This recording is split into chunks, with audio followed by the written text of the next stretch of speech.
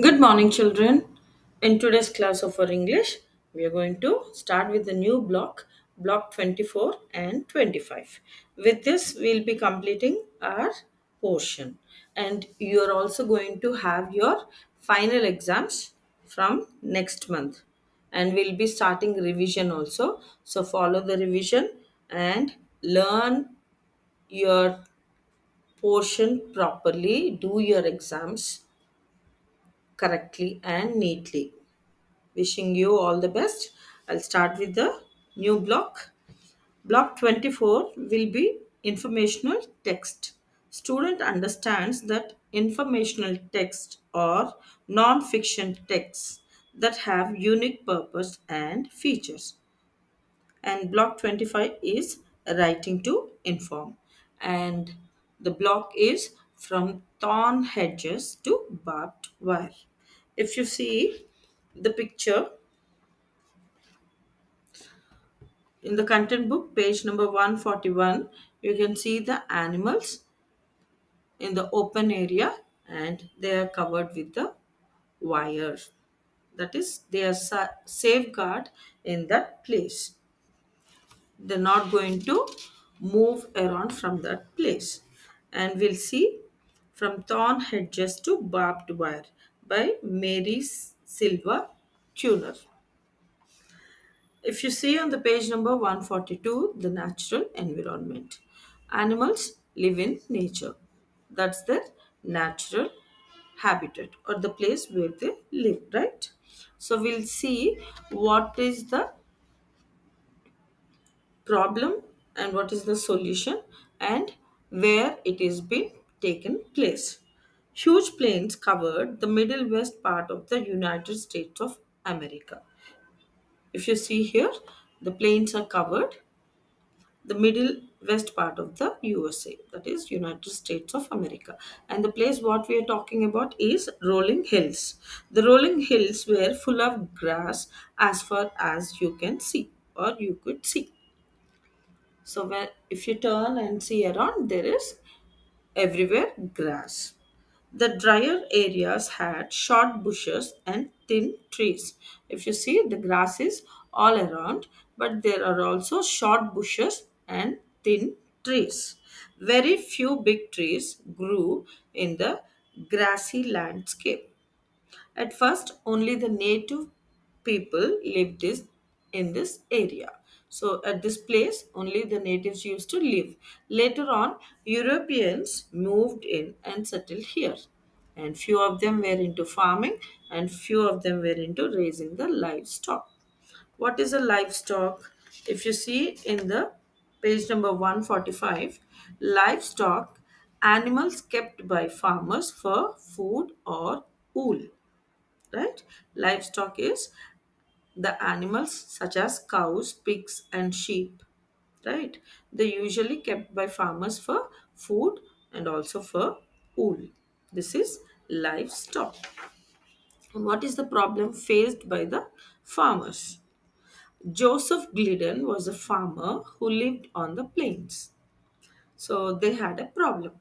At that time, cows and sheep would often escape and wander away.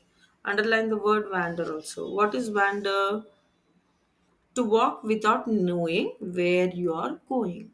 So when we take the animals for grazing the grass, they would wander away. Can you imagine the problems this caused? Farmers did not want the crops eaten by livestock. See, when they wander away and they move around, they eat whatever they get it. They also eat the crops which are grown by the farmers. And ranchers did not want to leave lose their livestock and then have to chase after them. So if some animal come into your crop, you chase them, right? They wouldn't make wooden or stone fences because wood and stone were scarce on the plains. So there was a problem by the farmers and the ranchers. The animals would wander away and the ranchers used to chase the livestock. So they couldn't make fences with wooden or stone because they were scarce on the plains. What is the word scarce? When there is not much of something, it is scarce. So there were no wooden or stone on the plains. Something had to be done. Farmers and ranchers needed a different strategy. What is the word strategy? A plan made in order to achieve a goal. So now they want to make a solution for the problem. So they're making a strategy, right? They began to fence in the livestock with thorny bushes. Now these are called the thorny bushes of Osage orange trees. This is Osage orange trees. This is how the branches look. They look like the thorns. And this is the Osage orange fruit. Strong thorns circle their thick and straight branches. Livestock did not want to run into them, so they stayed away. They made a fence with this Osage orange trees. And livestock also not used to move because they don't want to get hurt with the thorns. Joseph knew that the bushes made great fences, but the plants took a long time to grow. So these Osage orange trees would take long time to grow. It was also hard to grow bushes around a large piece of land. There had to be a better solution. He had heard that metal wire was cheap and common. He decided to make artificial thorny bushes from metal. What is artificial? Something made by humans and not by nature. So these thorns are the natured one, right? The plants grown in the nature. But he wants to make it from the artificial metal. So this is till now. So you all read the page number 142 and 143. You will understand what is the natural environment, livestock, and the crops grown by the farmers, and the what problem they are facing, and what is the solution that they are thinking of. Okay, we'll see what is the final solution to the block tomorrow. Okay. you will be doing in the volume book the features of informational text.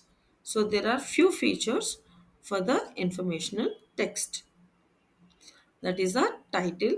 There should be a title subtitle difficult vocabulary diagrams with captions charts graphs and maps real photographs and the glossary so these are the features of informational text. It is given in the daily schedule also. So what is the purpose of the block? I think the author wrote this story to inform us because it teaches us something new about the farmers of the middle west part of the United States of America.